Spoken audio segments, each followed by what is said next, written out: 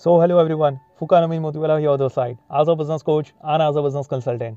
आज की जो कहानी लेके आए हो फ्रेंड्स वो सबसे ज़्यादा पावरफुल होने वाली है एंड आपकी लाइफ को एक पॉजिटिव इम्पैक्ट करके एक आपको एक राइट डायरेक्शन देने वाली है। ये कहानी है फ्रेंड्स एक लड़की की जो एक कॉलेज में स्टूडेंट होती है। एंड जैसे ही वो कॉलेज से घर पहुँचती है बहुत ज़्यादा अंदर से डीमोटिवेट होने की वजह से वो घर में आने से के बाद डायरेक्टली अपने कमरे में दौड़ती है एंड तकिया पकड़कर रोने लग जाती है।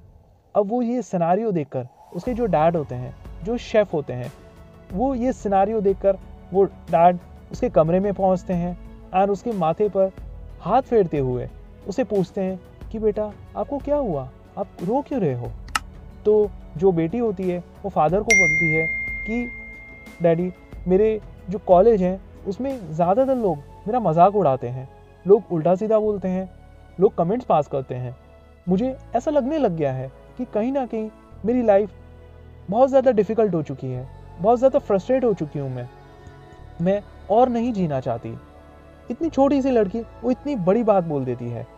ये बात सुनकर जो उसके फादर होते हैं, वो उसे स्माइल पास करते हैं एंड उसे कहते हैं कि, आओ ज़रा मेरे साथ। एंड उसके डैडी उस बच्ची को ले जाते हैं किचन में। एंड किचन में जो गैस स्टोव होता है सामने, उस पर तीन टी पैंस रखते हैं, उसे बिना बोले। एंड तीनों टी पैंस टी पैंस में एक एक करके पानी डालते हैं एंड उसे बॉईल करने के लिए छोड़ देते हैं।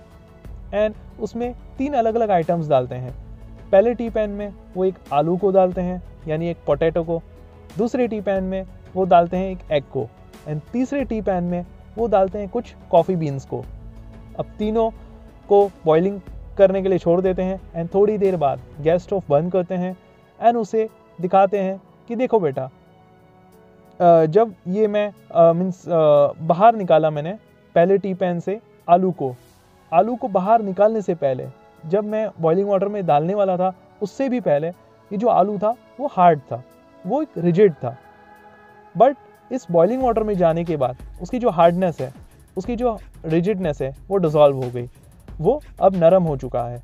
इसी तरीके से उसे दिखाते हैं कि ये जो एग है, दूसरे टी पैन में, वो बॉइलिंग वाटर में जाने से पहले वो फ्रेगाइल कंडीशन में था, यानी टूट सकता था। बट इस बॉइलिंग वाटर में जाने के बाद वो हार्ड हो चुका है। अब सख्त हो चुका है, अब वो नहीं टूटेगा। एंड जो तीसरा टी पैन है, उसमें इसी बॉइलिंग वाटर को बाहर निकालते हैं एंड महसूस करते हैं कि उसमें कॉफ़ी की सुगंध आ रही है कॉफ़ी की फ्रेगनेंस आ रही है।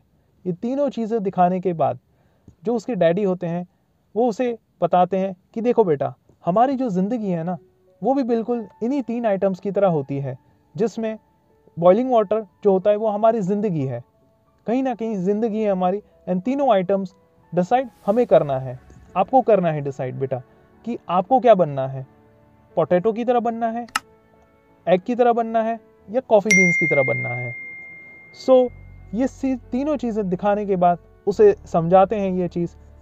अगर बताते हैं कि अगर आप एक आलू की तरह बनोगे तो होगा क्या कि लाइफ में बॉइलिंग वाटर जो है, उसे जाने से पहले आप अंदर से हार्ड हो सकते हो। बट लाइफ में जाने के बाद लाइफ में इन्वॉल्व होने के बाद, आपकी जो हार्डनेस है, कहीं ना कहीं आप उसे गवा दो। इसी तरीके से उसे बोलते हैं कि अगर आप एक एग बन कर रहोगे तो होगा क्या कि हो सकता है आप बहुत ज़्यादा नरम हो। हो सकता है आप टूट सकते हो अंदर से इस एग की तरह। बट बॉइलिंग वाटर में जाने के बाद हो सकता है आप हार्ड बन जाओ। हो सकता है कि आप अपने लाइफ पे ही डिफ़िकल्ट हो जाओ। बट अगर आप एक कॉफ़ी बीन्स की तरह बनोगे तो होगा क्या कि आप जहाँ भी जाओगे जिस किसी के साथ भी घुल मिलोगे वहाँ पे अपनी फ्रेगनेंस वहाँ पे अपना टेस्ट छोड़ दोगे सो so, आपको डिसाइड करना है कि आपको इन तीनों में से क्या बनना है। ये चीज़ें उन्होंने उसे बताई एंड उसे एक और चीज़ बताई कि देखो बेटा, मैसेज आपको यही मैं देना चाहता हूँ बेटा, जो इन्होंने बताया अपनी बेटी को कि लाइफ बेटा आज भी डिफ़िकल्ट है और लाइफ कल भी डिफ़िकल्ट रहेगी। ये ज़िंदगी जो है ना, वो नहीं बदलेगी। सेम बॉइलिंग वाटर की तरह रहेगी ज़िंदगी, बट डिसाइड आपको करना है कि आपको क्या बनना है इन तीनों आइटम्स में से। So this was the message of the day friends कि do not become a potato even do not become a egg but do become like coffee bean जिसमें आप जहाँ भी जाओ, अपनी फ्रेगनेंस अपना टेस्ट छोड़ सको। फ्लेक्सिबल बन पाओ। जहाँ भी जाओ, आप घुल मिल पाओ।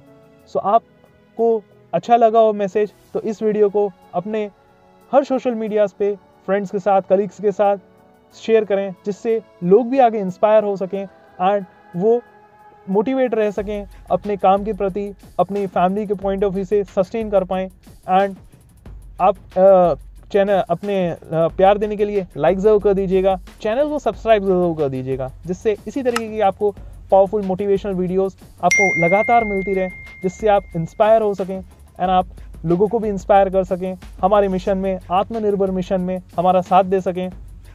And message of the day is friends कि wherever you will go you will leave your sparkle.